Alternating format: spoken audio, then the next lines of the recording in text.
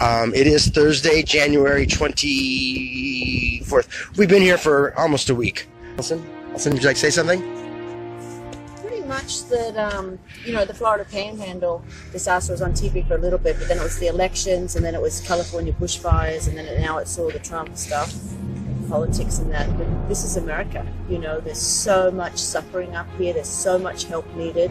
Uh, today, later on today, we're going to be looking for that picture. There's a family down the street whose house um, collapsed. See this area? Right? See this house right here? That's where she lived. Her grandmother had painted a painting for them, and it got buried. Well, guess what? We found it.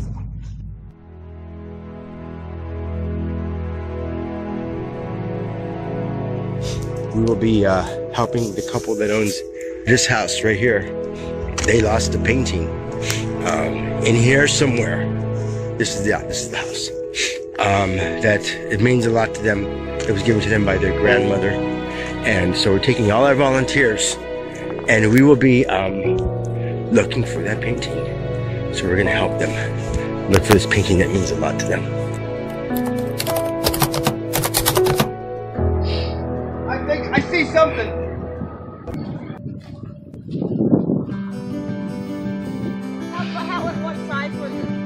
Right now, guys, we are looking for a painting in this house.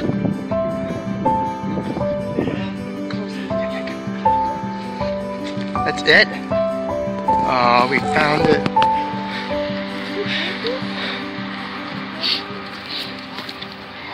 Oh,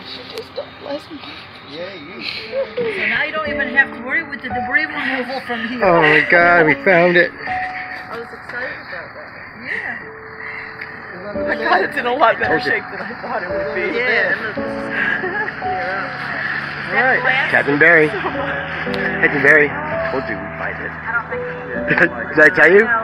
When you said it was under the wall, I thought it was under the roof, under the wall, under the wall. I thought it would be too. That is it. My, that is my the only psychic thing I told told me we'd find it. Yeah. Hey, Thank you. Yay! hey, y'all still can look for my All rosary, right. okay? It might be out there. I need it over here and show everybody Yes. what, what we just found. Good. And can, can you tell us a little bit about it? Um, my grandmother painted this many years ago, and my dad and stepmom had held on to it for me um, because they knew I was wanting to have a beach house someday. And they gave it to me just a couple years ago, and I brought it down here in March. It was one of the first things that I hung on the wall. And uh, my grandma passed away last month. She was 99, so having this back meant everything to me. Awesome. So thank you so much. Oh. And this is her house. Let me back up. This is my house. This is her house? My beach house that I Yes. This is her house. Um, we're glad that we can do that. Ah. Oh. Bravo, under. By You got it, girl. Good you All right. got it. All You right. can hang it up in your new place. Can't stop crying.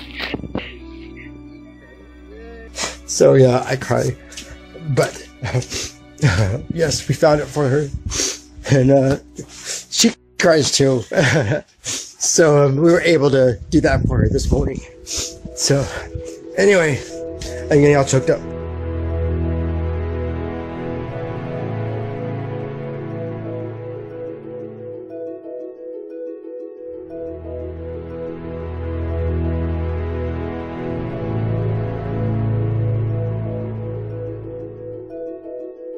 Everyone is needed. Anybody can volunteer and anybody can make a difference.